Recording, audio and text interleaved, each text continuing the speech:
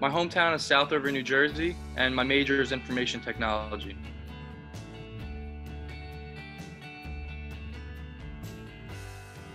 I'm a really big clean eater, so like chicken and rice and any type of vegetable. That's pretty much. I don't want to weigh myself down too much. Just kind of simple.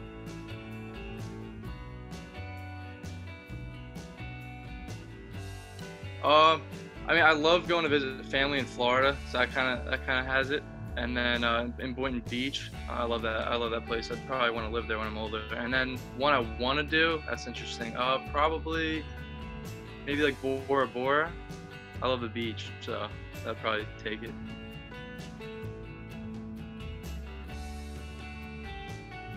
It's definitely Nolan Ryan, my favorite athlete, because he was just a hard-nosed guy. He always got the job done, and I mean, he had a great long career.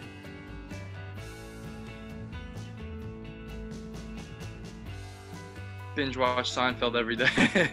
That's pretty much Seinfeld.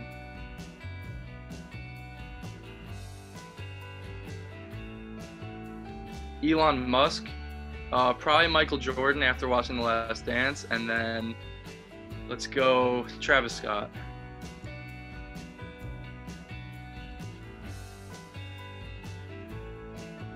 So pregame aux, I'm giving it to Mike Canavo. He has a really good playlist, and he usually always gets it anyway. And then, I'm sorry, Andrew Allwether, I'm not giving you the aux. A little bit too much country, and a little bit too much classic classic rock. Even though I like classic rock, it's just not my type of thing pregame.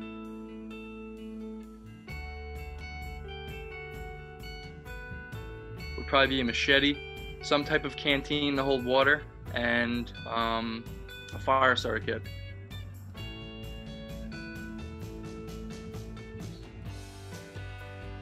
My favorite moment at Montclair so far was probably taking down uh, SUNY Cortland this year in the doubleheader on our Maryland trip.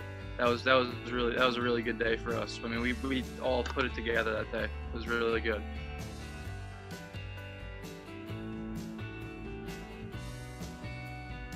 All right, something that I absolutely cannot stand that most people like is ketchup.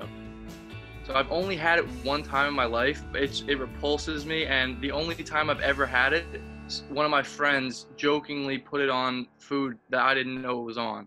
So they kind of just tricked me into eating it, and they knew that I was gonna hate it anyway. And it was horrible. It was just as bad as I expected.